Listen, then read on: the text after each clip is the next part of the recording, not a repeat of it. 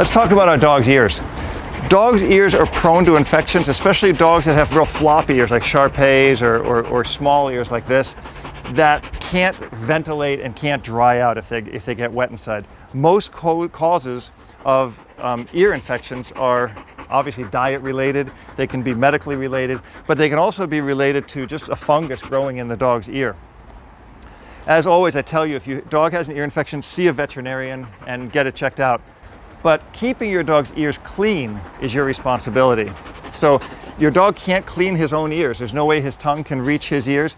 So you'll see that sometimes when you have two dogs, you'll notice that one of those dogs is always licking the other dog's ears, obsessively trying to clean them. This can be a good thing or a bad thing because too much moisture, again, in the ears can cause fungal type infections. There are several different thoughts of what you can use to clean your dog's ears. There's a lot of topical solutions on the market you can use. And there's a discussion between using alcohol in your dog's ears or peroxide or none. The, there's no one who will argue that just keeping your dog's ears clean with a, with a clean cotton ball is not the best thing to do. So I'm going to show you how to do that to start with.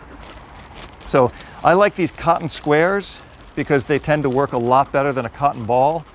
And they're simply just like two by two inch squares of cotton that we take and we put them inside the dog's ears with our finger as deep as we can go with our finger and pull out and you'll see there's a little tiny bit of dirt. And that's really all you should be doing with your dog's ears. Never, never, never put a cotton swab in your dog's ears or force anything into your dog's ears at all. It should be done with your finger and a cotton pad, just like this. So you'll see that with a German Shepherd, a Malinois, any big dogs who have big ears, I can just take the cotton ball or the cotton pad here and shove it into my dog's ears and start to dig in. I know you love it. I know, I know. It feels good. It feels so good. Like that, and you'll see that that'll come out clean. So if I take a little bit of rubbing alcohol and put it onto the cotton pad, it's going to give me a little bit more cleaning power, so to speak. So again, I'm going to take it now, it's moist.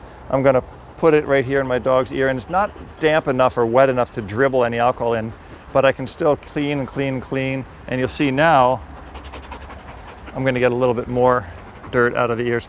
And remember, on top of the ears here is where a lot of this dirt will form. It'll get into the ear and it'll hang out here until it works its way down into the canal. And you'll see that as much as I rub this, he actually really loves it. And you'll see how much more dirt I can get out of there. And he's really clean. We just cleaned him the other day. We just bathed him the other day. But um, any active dog is going to get um, dirt in their ears. A real important thing to note is when you use one cotton square for one ear, when you go to the next ear, discard this cotton square and take a brand new clean one for the other for the other ear. Don't reuse one ear pad to the other ear because if he does have an infection, you, you can spread it between both ears and that's uh, a nightmare. So we cleaned his right ear with that cotton square. We'll take this cotton square and put it in his left ear. And again, you can see, I mean, I've got my finger almost all the way in there and he's, he's just loving it because it feels good to him. He can't get his fingers in there.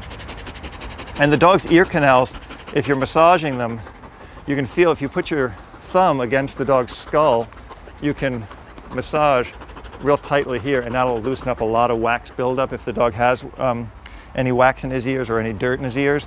And also after swimming, it's a good idea to give your dogs a good ear massage. They love it for one, and two, it'll break up any bacteria, and then they do that.